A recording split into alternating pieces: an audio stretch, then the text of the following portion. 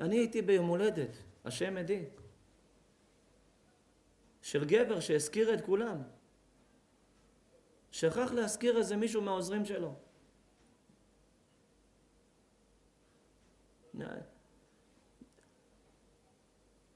הוא אחרי שבועיים מתקשר אליי, אומר לי, הרב, תגידי, שמעת איפה נעלם הבחור שלי פלוני אלמוני? הוא בא לך גם לשיעורים. אמרתי לו, הרב, אני אגיד לך את האמת, אני לא יודע מה איתו. אני לא, לא, אני לא, לא יודע, אני ראיתי אותו לפני שבוע, אבל לא, מה, מה קרה? הוא אומר לי, לא יודע, אני, הוא נעלם לי. אתה יכול לברר, כי הוא בא לשיעורים שלך גם לשלי. אמרתי לו, אין בעיה, צדיק, הרב. אני אברר, אני אראה אותו, אני אברר למה הוא נעלם, מה קרה.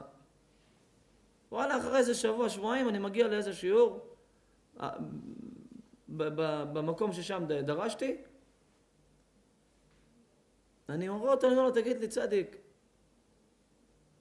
מה קרה לך עם הרב פלוני אלמוני? אומר לי, מה קרה לי?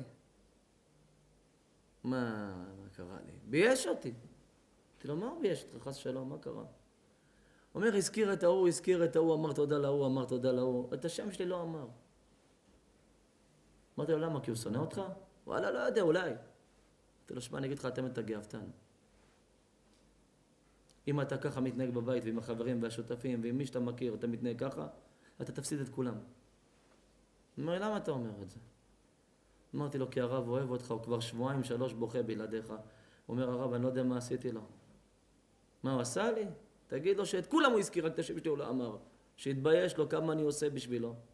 כמה אני עוזר לו. אמרתי לו, תקשיב, איך אני מודה להשם שאף פעם לא עזרת לי?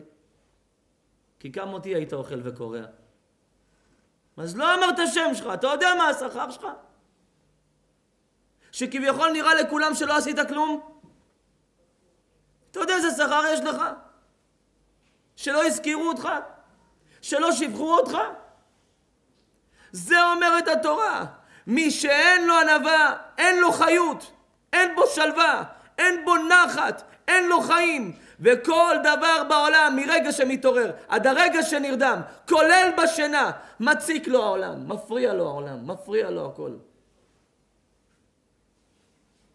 אדם שחי בלי ענווה, אדם שחי בלי פשטות, אדם שחי עם רצון תמיד לקבל כבוד ואהבה ופרגון, ותגיד לי, ותטריף עליי, ותתרא אותי, ותשבח אותי, ותזכיר אותי, ותגיד עליי, והוא תמיד, הוא, הוא נכה, הוא תמיד צריך שיעלו אותו, שירימו אותו, שיסיעו אותו, שיגלגלו אותו, שיסיעו אותו, שיעשו לו, ואם לא עושים לו הוא מרגיש תקוע, הוא נכה.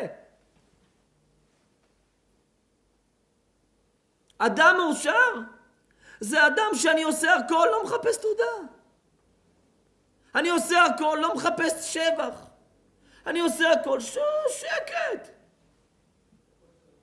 זה אדם מאושר. למה? אם יזכירו אותו, הוא יתבייש.